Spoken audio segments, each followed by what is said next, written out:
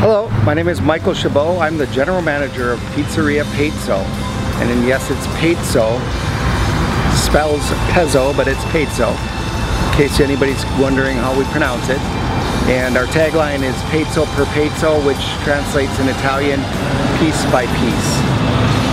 We uh, came to the uh, White Bear Lake area in 2013 or 2013 and uh, came uh, on a request from uh, our investors, the uh, Kowalski family.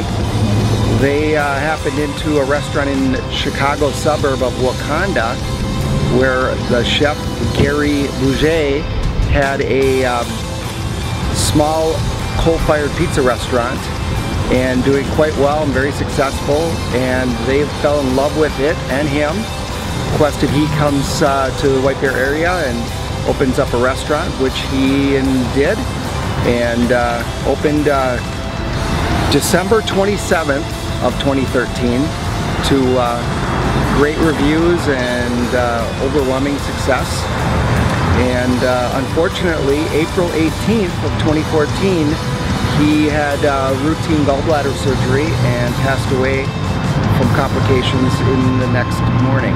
it's been um, a wonderful ride so far. Uh, bittersweet, wish Gary was with us, but uh, he is. As I tell every chef that comes that's come in to interview is it's uh, Gary's the chef and you are here to carry on his dream. We've employed off and on roughly 50 to 55 employees and um, love the White Bear area, been very well supported. Uh, joined the Chamber of Commerce right away that, uh, that spring.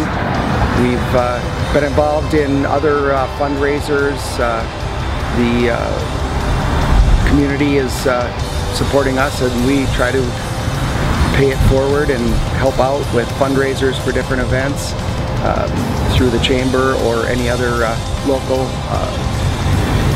local um, businesses. We've done um, events for with the White Bear uh, Lake area schools, churches in the area. We donate every single week to uh, different fundraisers and we'll continue to do that as long as we're here and viable business.